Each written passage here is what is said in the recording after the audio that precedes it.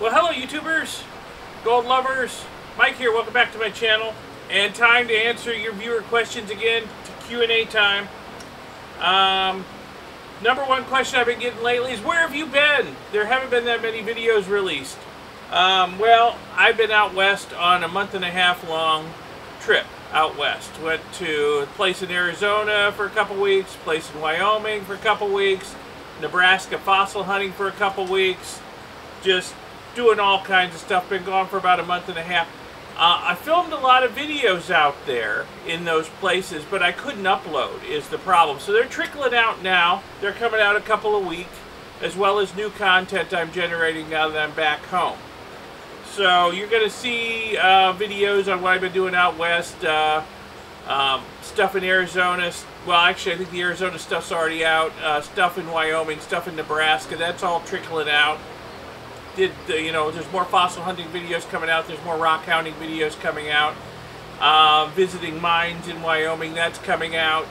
So stay tuned for that, um, as well as new content I'm generating here now that I'm back home. So it's all going to be mixed together. It's all coming out. So I'm back in business. So for those of you who've been wondering what's going on, that's that's what it is. I'm back in business.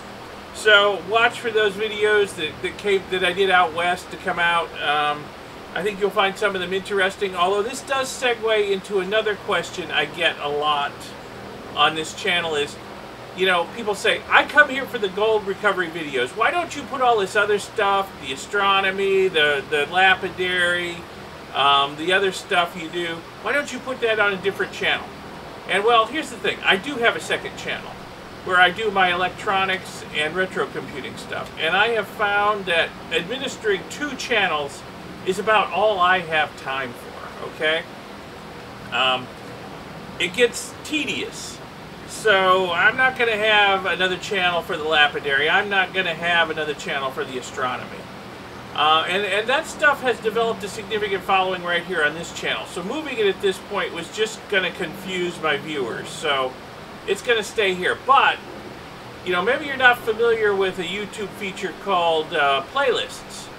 Um, I do segregate all my videos into different playlists. Now, if you just come to my main channel all the time, you're going to see every video on every subject I upload, okay? And if you're just coming here for the gold, well, you, you got to sort through them to find the gold. If you're just coming here for the astronomy, you got to sort through them to find the astronomy, and so forth. But if you click on that little playlist tab, you'll see all my different playlists. And if you just click on the Urban Gold Mining playlist, you'll only see the Urban Gold Mining videos. You click on the Astronomy playlist, you'll see the Astronomy videos. The Lapidary playlist, you'll see the Lapidary videos, that sort of thing. So they are sorted out. So you don't have to hunt through a bunch of videos that don't interest you to find the videos that do. So use that playlist feature. I think you'll find your life is a lot easier. And not just on my channel. I mean, a lot of other YouTube creators sort their videos into different playlists. And that's going to make it a lot easier for you to find what you're looking for and not have to sort through a bunch of stuff that doesn't interest you, okay? So, yeah, the travel stuff, astronomy stuff, lapidary stuff, is still going to come on this channel just because I don't have time to administer a half a dozen different channels. But it's going in different playlists, so you don't have to see what you don't want to see, you know? You can go right to what interests you. So give that a try. Okay, another question. Some questions came in while I was on the road. And, well, uh, one thing that came in a couple of times is a little frustrating is, how can you call that stannous chloride solution when you didn't put any stannous chloride in it? You know, I have a couple of videos on making stannous chloride solution where I dissolve tin in muriatic acid to make stannous chloride solution. And I guess people who are kind of ignorant of inorganic chemistry are like, wait, you didn't put any stannous chloride in it. How can you call that stannous chloride solution? Well, you know, basic inorganic chemistry here, 101, when you dissolve tin in hydrochloric acid or muriatic acid, you create stannous chloride. That's kind of how it's done, okay? You can buy stannous chloride off the shelf and dissolve it in water if you want. That's fine. Um, I happen to have tin. In the, I have tin shot, and I have tin solder, and I have gallons and gallons of hydrochloric acid. I have kind of a philosophy. of not buying what I can make myself with stuff I already have. So tin plus muriatic acid equals stannous chloride solution. It's that simple, guys. Um, so yeah, that's why I can call it stannous chloride solution, and that's why it works like stannous chloride solution, because that's what it is, stannous chloride solution, okay? So I hope um, the people who are confused by that see this video, and the next time I make a uh, stannous chloride solution video, I'll be a little clearer on that, that tin plus muriatic acid equals stannous chloride. Okay, you don't have to add any to it, all right? Um, I also, while I was gone, I got a whole lot of questions from people, both email and comments and videos. Um, I got this board. What are these parts on it? or I've got this board. Um, what's valuable on it? Uh, what's this board worth? Uh, what are these parts worth? Which of these parts have gold in them? What didn't come with any of those emails or um, comments is photos of the part that people want to know about. And I have to write everybody back and say, hey, take a picture with your smartphone and send me a photo of it because I have no clue what you're talking about, okay? Your description people people described, oh, what's these square things on the board? There's a lot of square things on circuit boards. I don't know. Send me a picture, you know, or, or what are these white things? I, I don't know. Send me a picture, you know. I, I, I, yeah, I, there's a lot of different components on boards that are square, that are round, that are rectangular, that are white, black, red, purple, whatever if you want to know a specific ID of something, you got to send me a picture of it because you know otherwise just telling me it's it's it's square or it's it's white doesn't tell me anything. Okay, so send me um, a, a, a picture of it in your email or whatever, and I'll endeavor to do my best to tell you what it is and whether it has any value. Okay, but you got to send me a picture. Otherwise, I got no clue what you're talking about, really. Um, and then mystery boxes. I got a couple of requests for mystery boxes while I was gone. Well, unfortunately, I don't have any right now.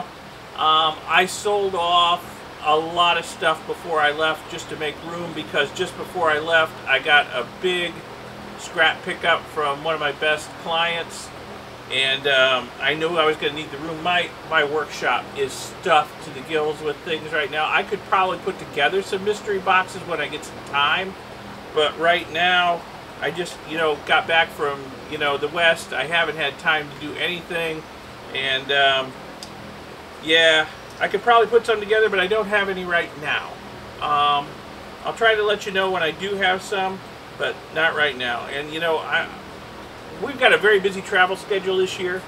I'm trying to get ahead on the videos so that the next time I go out of town for a couple of weeks, they don't drop off to nothing like this last time, and people wonder where I went.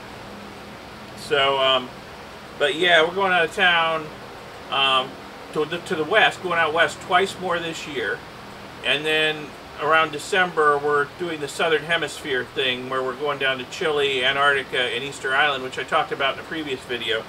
So we got a lot of travel going on this year and more yet to come.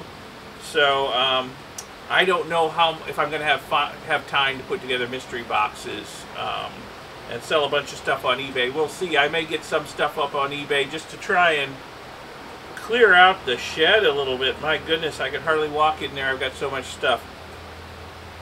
Anyway, um, let's see. MLCCs. Okay, I get a lot of requests for processing of MLCCs, and that is coming soon. For those of you who have been really wanting it bad. Um, actually started working on MLCCs with my buddy Jim when I was out in Phoenix. Um, he had a bunch of them. We divided them in half. I took my Mighty Mill with me out there. We ground up his MLCCs into a fine powder using the Mighty Mill, and he was going to start processing them. And he gave me the other half of MLCCs to bring back here to process when I got the time and was back in town. Plus, my buddy Rick sent me some MLCCs. And plus, my buddy Ken has sent me some MLCCs. And plus, I have some MLCCs of my own I've collected. So I've got quite the glut of MLCCs that do need processing. So that's going to be coming soon. Um, I may be starting on that later this week. Uh, it may be a while before the videos come out, but I may be starting on processing MLCCs this week. So those of you who have been asking and requesting that, Yay! You're going to be very happy about that. Um, also, the tin recovery videos, I started on something before I left. Ah. And um, we'll get more into tin recovery hopefully later this year. Uh, what this contains right here is tin hydroxide. So I had a solution with a lot of tin chloride in it, and I managed to turn it into insoluble tin hydroxide. So the next step would be to reduce this to tin metal again. So working on that. Um, down the road, hopefully we'll get that going. And uh, because the tin recovery, a lot of people are asking for tin recovery, how to recover their scrap tin, um, how to recover their waste, how to recover tin from their waste, because tin's gotten so valuable. So I'm working on it. I'm working on it. I did put out a video not too long ago about tin recovery. And I'll put a link to that video in this one right now, up in the upper right. And I think there's going to be some more videos on tin recovery down the road. I just got to perfect the process, and then I can film it, okay? Unless you guys want to see another blooper reel. You know, there's a lot of, a lot of mistakes and errors that go into perfecting a process before I get it working good enough to film it sometimes. And uh, let's see what else. Okay, um, how am I doing on the on the grindings, the motherboard grindings from Mount Baker Mining and Metals that I was working on? Well, to be perfectly honest, I haven't done much with it lately. I kind of hit a wall with that. I had some ideas on how to go forward, but um, really not making much progress with it. And, you know, Jason just put out another video. Um, he ground up a bunch more boards and stuff and ran the stuff through a shaker table, got the metal out, and, you know, he's tried several things too. Some of the ideas I had, he's tried, and really grinding the stuff up and separating the metal out with a shaker table or other sluice or whatever, that's the easy part. Separating the different metals, the copper, the gold, the silver, the tin, the iron, the nickel, that's the hard part, okay? It's hard for me. I've tried several things and haven't gotten anywhere. Jason's tried several things and haven't gotten anywhere. In his last video, he was kind of asking the audience, hey, if you've got any ideas, let me know. Well, you know, if you have any ideas, let me know too. Because I've still got a bunch of those Mount Baker Mining and Metal grindings in there. Plus, um, my buddy Rick in Georgia has sent me um, what he calls crumbs from his boards, which look like a lot like the same stuff. So, you know, I'm actually pretty well loaded down on that stuff. I just don't have a good method for separating the different metals. I'm thinking that electrowinning is probably the most likely path to making it work. Because between me and Jason, we've tried a lot of different methods of pyrometallurgy and really haven't gotten anywhere. And it's really inconsistent too. Um, I was having seriously inconsistent results with my pyrometallurgy and I was thinking it was something I was doing wrong.